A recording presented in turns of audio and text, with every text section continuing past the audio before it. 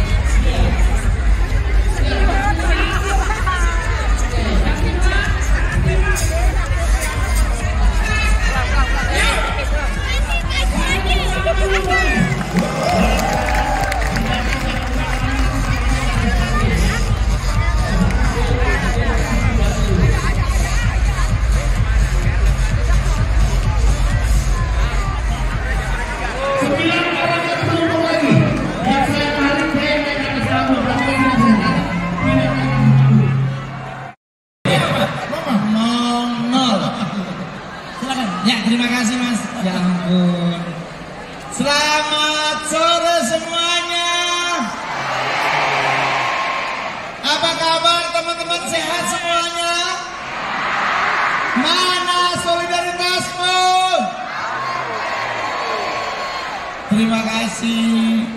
Ini tulisannya Mongol. Ya, terima kasih dan Mongol. Satu hal yang pasti adalah saya sebagai putra bangsa sangat menanti-nantikan 14 Februari. Apakah Anda juga sama? Kita akan memilih pemimpin terbaik untuk bangsa kita. Setuju? Jadi teman-teman jangan lupa datang ke TPS terdekat, betul? Saya sebagai putra Jakarta pasti jam 8 pagi udah datang ke TPS karena saya akan memilih calon yang terbaik untuk bangsaku. Yang percaya Indonesia negara hebat dan akan makin hebat coba tepuk tangan. Karena kita harus akui teman-teman Indonesia itu negara yang sangat keren. Kita banyak dijajah oleh bangsa asing zaman dulu, tetapi kekayaan alam Indonesia sampai hari ini tetap stabil. Setuju? Jangan percaya kata orang-orang di luar sana Indonesia akan bangkrut, Indonesia akan begini. Jangan. Kita doakan Indonesia harus tetap berdiri sebagai negara yang utuh. Betul? Betul.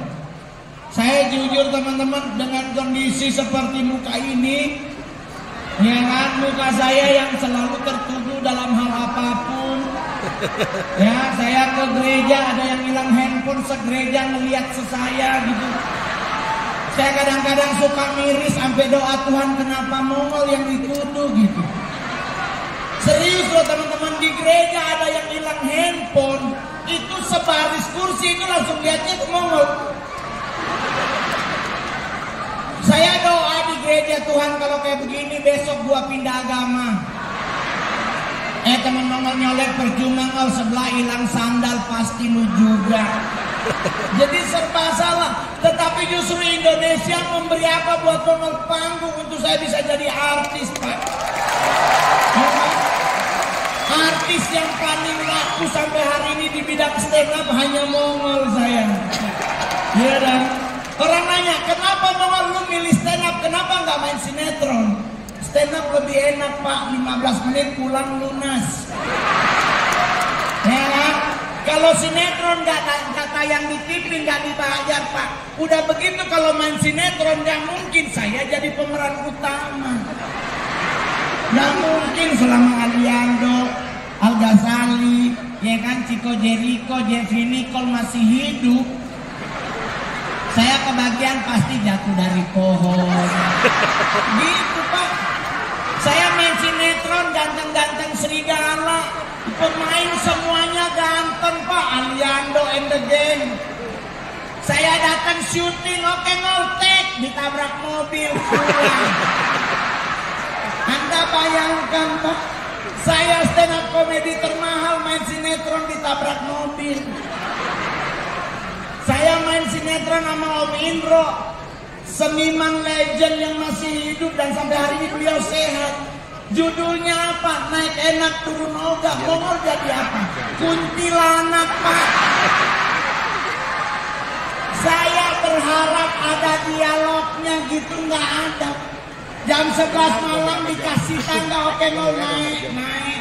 Oke, action, cuman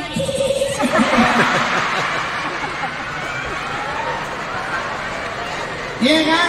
Tapi apakah saya harus menyesal? Tidak. Di mana ada sinetron ganteng-ganteng pasti ada jelek yang masuk. Nggak apa-apa, yang penting honornya 11-12 dengan mereka. Iya. Saya main sinetron Maida pengen ke Mekah. Ini sinetron mengajarkan nilai toleransi. Kenapa? Sinetron Muslim yang main Kristen. Saya Kristen Pak. Saya datang ke lokasi. Saya nanya judulnya apa Pak? Babi ngepet ngomong langsung. Pasti gua jadi babi. Ya ampun. Loh kan babi ngepet Pak. Ini pemain semua Muslim. Sekarang saya Kristen masuk berarti saya yang jadi babi Pak. Saya mundur. Oh Tuhan kita jadi babi. Sutradara manggil sini sini ngomong jangan. Yang jadi siluman babi Preti Asmara almarhumah. Oh, oh jadi siluman babi Preti iya. Yang jadi babi ngepetnya siapa? Aldi Tahir. Saya kenal Aldi Tahir di sinetron ini. Oh jadi siluman babi Preti Asmara, babi ngepetnya Aldi Tahir iya. Lah terus Mongol jadi apa? Oh kami gendong babi. Bayangkan Mongol. Mohon maaf kalau anda nonton di YouTube itu babinya original pak. Original babinya bukan dari serofom asli babinya. Terus orang kan nanya, kenapa Mongol ambil? Ya sehari dibayar 30 juta, jangankan satu babi, sekandang juga gua gendong. Gitu. Jadi ngadepin hidup santai aja. Buat cowok-cowok yang hadir hari ini buncit, lepas perutmu. Jangan kau tahan untuk terlihat six. Lepas. Karena buncit sekarang idaman cewek-cewek Jakarta kan? Nggak usah sosok apa? Hidup sehat. Otakmu yang disehatin dulu daripada hidupmu. Karena di tempat nge-gym banyak six pack tapi banyakan ngondek.